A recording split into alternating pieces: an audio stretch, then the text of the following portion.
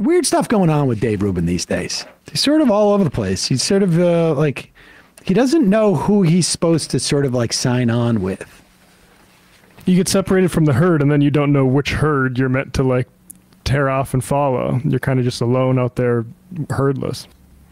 Um,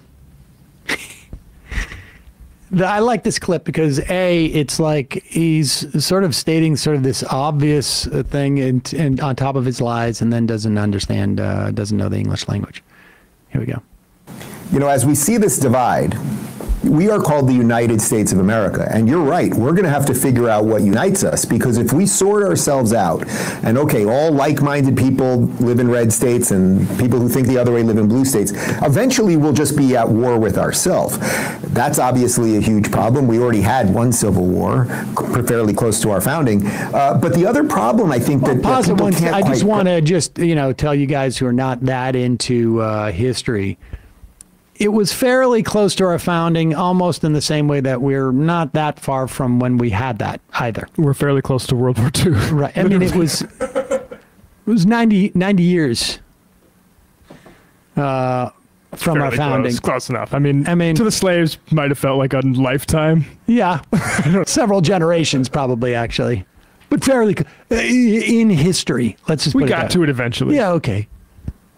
Grasp is that this isn't this isn't a problem of, oh, I want a marginal tax rate of 10% and you want 20%. This isn't really a problem of I want 10 week abortion and you want 15 week abortion. The problem is that right, we pause are I just want to just sort of say, um, I just make a point about these two things is that uh, the Republican Party it's not hard to find uh, Republicans and conservatives who say that uh, taxation is theft. and uh, they literally call for the abolishment of the IRS, which is the mechanism in which we collect taxes, incidentally. Um, and uh, the idea that it's not a marginal uh, uh, argument between 10 and 20 percent, you know, which is hilarious because on capital gains, like he's already uh, the, he's just talking about like you know we wanted that much less taxes taken, right? He's not even acknowledging that there could be any other sort of like reasonable position in terms of taxation. Um, and uh, when he's talking about what was the second thing he mentioned was the um, oh abortion ban, yeah, 10, um, 15 weeks, yeah, 10, 15 weeks. I mean, a, a, everybody knows that the 15 week abortion ban, like even Trump couldn't even support that because his Republican Party needed to allow for a full ban of abortion in in in many states and if not nationally. I like this new thing, like how he defines what's the parameters of like discourse instead of the Overton window. This is like the Rubin pinhole. Oh, this is the same guy who said that guy. Well, who was that guy that was a moderate, the the, the bald cult leader guy? Uh, oh, what was that guy's name? Is um, who said you should from Canada? I can't remember. Molyneux. Who, yeah, Stefan Molyneux, who's like been banned from everywhere, and God knows where he is now in a rubber room somewhere or something. Uh, was a moderate, but go ahead of I want 10 week abortion and you want 15 week abortion. The problem is that we are ideologically opposed to each other in, in very, very deep ways right now. The left, which now control, the, the radical left, which took control of the Democrat Party, they believe that the founding of America was evil. They believe that America is systemically racist. Um, they believe that if only the government had more power, it could rejigger society in some sort of what they would describe as a utopian manner. Of course, we know it would actually end in a dystopian manner. Pause they think that boys are okay. And the uh, just go back a little bit. I mean. Um, the idea that there's no systemic racism in our society is pretty, uh, I think, um, I mean, uh, you've got to be incredibly deluded. Um, I don't know how you describe mass genocide of the indigenous people who are here as like anything but, you know, maybe maybe problematic would yeah. you feel more comfortable with? I mean, yeah, I would turn something good, something to endeavor to repair and make amends for. Exactly. uh, he, you know, it's the people on the right who use the good and evil stuff more than anything else. Um, but I don't think that government is going to make a, a utopia, but I do think that government makes things better. And cut poverty. Yeah. I mean, we literally did cut poverty in half with uh, the um, uh, the flip of a pen, and then we just let it uh, grow back. I mean, that's not utopia, but it's better. Go ahead had more power, it could rejigger society in some sort of what they would describe as a utopian manner. Of course, we know it would actually end in a dystopian manner. They think that boys are girls. They think that by not arresting criminals, you de-incentivize criminality. Almost every position, and I'm, we could go do many more of these. Ponce, oh, you know what else? Like, yeah, that um, that marriage equality is okay. That two guys could like get married and have a child. I mean, 20 years ago, folks the sa- you'd hear the same cat crap from conservatives, not girls or boys and this and that. Was it Adam and Steve? Adam and they it would be uh, it's Adam and Eve, not Adam and Steve, and he completely ignores that. Completely, he has to. So desperate to ignore that his.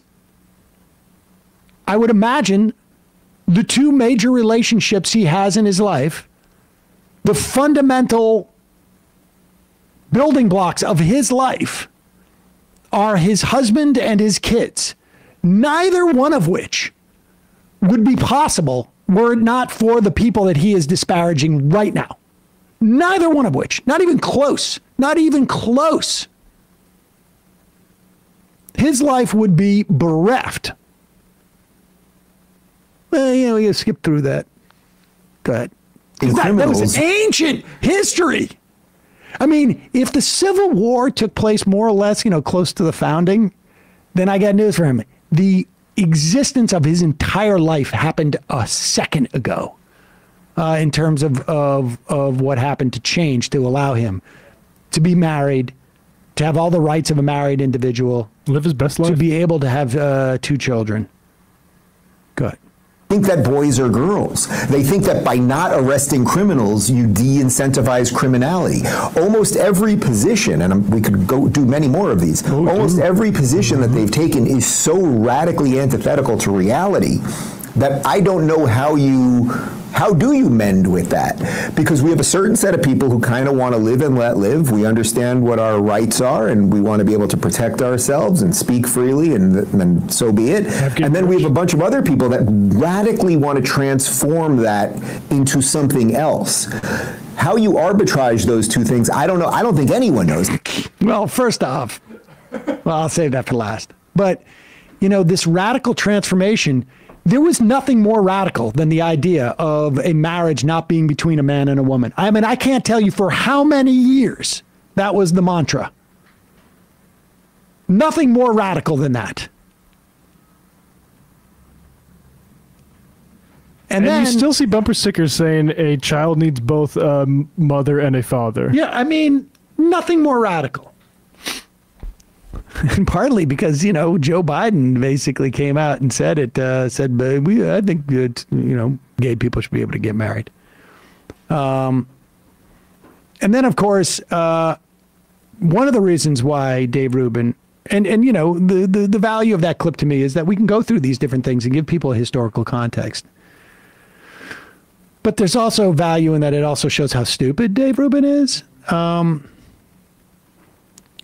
he cannot find anybody to figure out how you arbitrage those two things because that would mean uh, if you were to arbitrage those two things, you would somehow figure out how to find the value difference in those two things between markets, and you would be able to um, buy one of them low and sell the other one high and make the difference between those two things. That's what you do when you arbitrage. Um, what he means, I think he means is like to arbitrate, maybe. Uh, right. Yeah, not arbitrage. Not arbitrage. Um, but that's the uh, that is the Dave clip for the day. But this is the Dave Rubin clip for the uh, bonus round. Here is Dave Rubin. He's been on this sort of like uh, this this every time we see him go on any of the shows, there's always like he's. It's almost like he's now. Uh, who is that guy? Like uh, the the progressive voice, like the guy who used to like sort of like uh, do all the play by play. Like Oh yeah, progressive voice. he's almost like the business reporter for the right wing now. Uh, Dave Rubin is. Yeah, except like progressive voice and now the Va- boys at the Vanguard, they like actually get into details of these things. And Well, Rubin, like, that's the thing is there's no ideology here. It, it's it, Dave Rubin understands that it's all about business, and understand that he is talking about the behemoth, the uh, essentially the the the center of gravity in the right wing um, echo chamber media sphere. He is basically crapping on, but also pretending he's not, which is fascinating. He's such a coward about it. And also, Will Cain is too. That Will Cain has to run away from this too. It's pretty funny. Well, do you think beyond Israel, okay, beyond this issue? Um, so when I asked you about the "we're just asking questions" um, style of discourse, I actually wasn't even just leading you into a discussion of anti-Semitism or Israel. I- I'm, I, I wonder, do you think? You, you talked about misleading your audience. Do you think there is a problem on the right? Like the left wants to censor, right? And Yeah. and there's a good there's a good chunk of conservative influencers who are I, I think I'm I'm com- comfortable saying this who are and I'm not who are pretty cynical in putting out things that are at least at the very least sloppy. And I'm not talking about on the issue that we've been discussing on any host of it. I saw it with Maui. Okay, I saw it with Maui. Like a whole rotten narrative was put out when it came to Maui that was pure BS about blue roofs and laser beams and direct energy weapons, and a lot of it came from the right. And so, like, whether or not it's just we're just asking questions. Do you think there's a problem on Pause the right? for one that's actually- Yes. You know, you know, um, Will uh, should find out where he works. Does he still work on Fox, or is he left? this is Fox News audio. Oh, this Fox News audio. It's fascinating because, you know, um, one of the biggest defamation suits and like ongoing lot project of lies that maybe ever took place in the uh, media uh, was recently settled with those guys. Yeah, maybe instead of asking Dave Rubin, he should ask legal. Exactly. feeding in to this Well, there's a censorship problem. idea? Well, there's a problem because of the way business operates. Let, us remove any uh, any going after anyone's intentions or thinking anyone is a hater of this person or this group or anything else. At a purely business level, there's an issue here. Tucker Carlson is no longer with Fox. He now has his own network. I, I like Tucker. So this is not a knock on Tucker. He has his own network. Would he love, as a as a guy that's running a network, to take out the Daily Wire and to take out the place that you work, Fox? Of course, the answer is yes. He would love to take all of your audience and monetize. Pause it for a and second. I just want you to like contemplate this because what's fascinating about this, in addition to Rubin saying, I'm not talking about intentions, and then goes on to talk about intentions, he doesn't even understand what that word means. But it's so obvious to him what is going on in that sphere. And I will tell you that it has never, ever, ever occurred to me. And I would I would I would bet this is the case with with just about everyone we know in the center to the left iteration of all these things. That it has never occurred to us that we want to take out any of these things because ultimately we're here I mean, yeah, it's it's now my job, and it's been my job for you know uh, well over a decade. Um, uh, My my primary job for well over a decade, a couple decades actually, and um, but I, I've been able to make a living at this. I want political change. Like, like I'm doing this for ideological purposes. If I want to stay Capture and have audience. been a uh, you know a sitcom actor uh, or a sitcom writer or director for that matter, I would do it. I still had gigs 10 years after I stopped doing it, eight years after I was still doing deals. No, I'm not talking about, you know, Bob's Burgers. I'm talking about like writing scripts for AMC and this and that. But uh, this is more important. And then I'm like, all right, I got to figure out how I can make money at doing this. But it's not even like, it's not, it's not even, he doesn't even have to preface this comment with like, of course you'd want to take out the Daily Wire. Like, like I'm not a, I'm not a big fan of Pod Save America. But like the idea that like you know the the that any part it's never occurred to me to make a single decision to to try and undermine Pod Save America. Maybe like I would argue against some of the politics. Yeah. But like that's just the mentality. They're involved in a grift. That's what when we say it's a grift, like it's not that they're trying to make money. It's that making money comes first. Yeah. Go ahead. a new network that is the number one thing in, let's say, right leaning or conservative media. So, is he willing, would he be willing perhaps to go down roads that maybe, maybe even he wasn't as comfortable with to attain that? I'd have to ask him specifically, but I think the answer is probably. So Ben Shapiro at the So- Daily Wire so is a scared. big fish, and everyone's kind of going for the big fish right now. Fox is a big fish, everyone's going for the big fish, and there are different reasons that everyone kind of wants to do that, and I don't think they're purely nefarious in terms of being hating someone because of their religion. I think some of them are kind of like pretty obvious business decisions. Well, I'm not comfortable going as far as you just did. First of all, like I know a lot of those individuals that you just named, and and I can Yeah. never know someone's motivations. And I, I'm not criticizing look, you, I- Dave. but you know, that's you- why I'm not saying I don't know that If I don't know someone's motivations. Yeah. If I don't know someone's motivations, I don't, I don't, I hate it when people do that to me. You're doing this because of X or Y. You don't know me or why I'm doing something, you know, and what I actually believe. Not you, Dave, the proverbial you, right? Because you've never impugned my motivations. But the the left has constantly impugned my motivations, and it's my least Sure. favorite thing. But I do think, and again, this is beyond the individuals discussed. Incentive structure on the internet is leading certain Yeah. conversations in directions in pursuit of eyeballs and traffic. Okay. But what's interesting about this, Dave, is I think we're actually, and you you you know so much because of your involvement in Rumbles and local. Mm. I, there's actually, I think we're starting to see like eyeballs and traffic that that don't create true audience with real value is kind of worthless, Dave. Like it's just like attention seeking. What yeah, so what I've been calling that lately is I think there's a certain set of people, and again, I'm not, and I, I maybe I misspoke or, or you slightly Posit like the the the cowardice that both of them are exhibiting. Like, they're, they're, who are they talking about? No one apparently. They're having this extended conversation re- about nobody. Even the people that explicitly reference this say I'm not talking about them. I'm only not. I'm talking about people you probably never even heard of, who are completely irrelevant to this. I mean, the only point that Will Cain makes that is is true is that you know, and this has been uh, my contention for a long time. You used to hear like you know complaints like corporate media, uh, they're just chasing uh, you know uh, ratings. The, the uh, do stuff on YouTube or Twitch or wherever it is like the ratings are just like instantaneous yeah.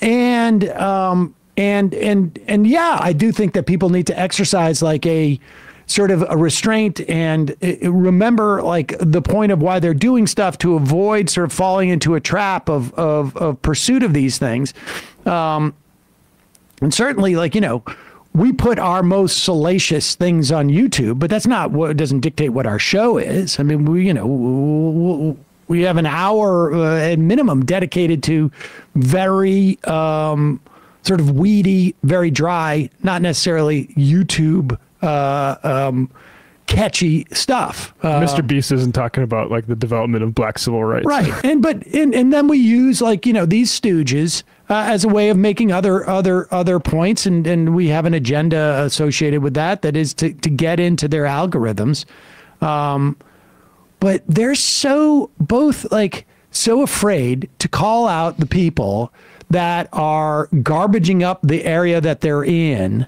um it is hilarious like police yourselves, guys. If you're going to talk about it, then talk about it. But all this, like, we're not going to, I'm not going to refer to anybody who's actually doing this. Um, you know, like, I, I, don't, I don't begrudge people making money. I don't care if it's Mr. Beast or even like, uh, you know, if Jimmy Dore. Yeah. I, Jimmy Dore's in a, uh, you know, an area of the, the internet where he's basically, you know, hawking uh, conspiracy theory. And I had said, you know, almost 10 years ago. The guy is basically going to turn into, uh, you know, the, the, the, left's Alex Jones. And what it does is it disempowers people, it uh, poisons the well, it makes it impossible for them to actually get, uh, you know, be able to discern between real information and not and whatnot. Um, I, I would be perfectly willing for him to have a very big business if it involved him not uh, saying bullshit.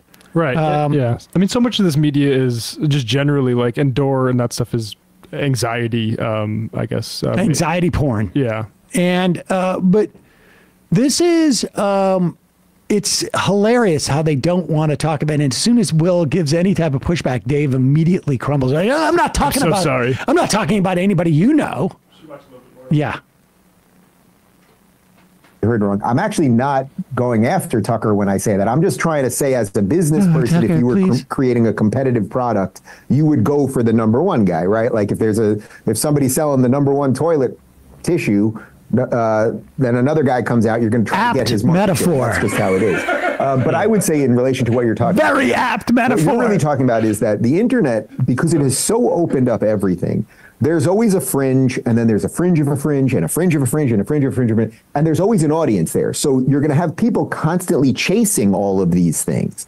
We also live in a time where the, the, the He's not saying anything, because mainstream media has been so derelict in its duty, has been so blown apart, and we agree on so little that people are looking for anything that roughly sounds right wherever they can find it. So then I think what has happened now is there's a series of people, and I'm truly, truly not going after anyone specifically. I'm not saying a truth, posit. There's a well, let's be clear here. There's a series of people.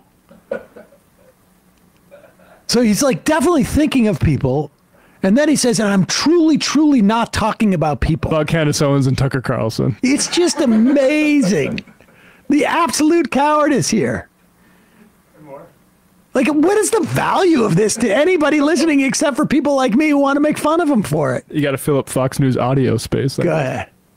A portion of people who basically are what I call energy chasers. Oh, And energy see some chasers. weird shiny thing in the corner of the internet, and that will get clicks, which generate revenue and everything else. They will go there, and then they can actually shift the entire conversation into something that has very little to do with exactly where you started, which is the problems Yes. of most people and how most people. want Pause it for a second. Okay. I just want to be clear. Like you to go back and look at like things like the Dr. Seuss. Like I mean, I, I, I can't even like the amount of freaking like complete distractions. That whole thing of what he just said, where they will chase something that is niche and ridiculous, like the war on Christmas, let's say. You know, because some uh, school in Wisconsin took the name Jesus out of some song or whatever it is. And then the, they'll change the whole narrative. That has been the sine qua non objective of right wing media in this country from its inception. Create, like, whether it's like, Rush Limbaugh and Fox News talking about the absolute outrage at Paul Wellstone's funeral 20 years ago, 25 years ago, whenever it was. I mean, it's just an example that just pops in my head.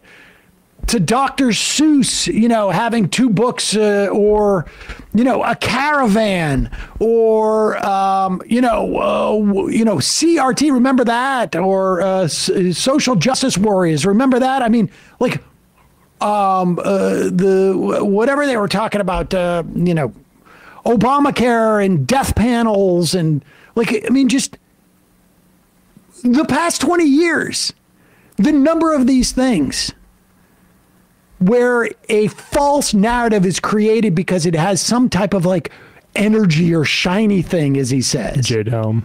Jade Helm, when they thought that the U.S. government was going to invade Texas. And it was a huge, you had senators, you had Republican senators talking about it. QAnon, Oh, the birth certificate Obama. the birth certificate. I mean, like these things are such massive fixtures. It's almost like looking around your house and forgetting, like, oh, wait a second. They built all these interior walls that are not don't support anything, and they have no reason to exist here. You forget, like, the, our entire politics And remember the preamble Will Cain says, look, I'm not talking about Israel. The the shiny thing like Candace Owens and Tucker are doing is going away from supporting Israel to the extent Ben Shapiro and Dave Rubin are. Yeah, It's it is it is amazing how oblivious they are to the in fact like their jobs exist for this. Both of them. Mr. Potato Head. Sine qua non is a, uh, a Latin phrase, like uh, nothing's bigger. Without this, it cannot exist. I think something like that. Yeah, nothing's more uh, sort of like of the essence or more important, primary. Um, Squirt Cobain. Kyle Kulinski recently made videos about Dave Rubin and Sam Harris recently to capture your audience, Sam. You need to fight back and make to take us down. videos about how smart and hot Krystal Ball is. Uh, JR and Philly. Sam, you energy chaser. Are your ears burning? Oh, geez, it's already okay. Um, Ghost of Limbaugh. It's embarrassing to admit, but I heard my right wing mom say the other day Dave Rubin's killing it lately. People actually think this guy is smart and has integrity. Shake my head. That's where the audience is.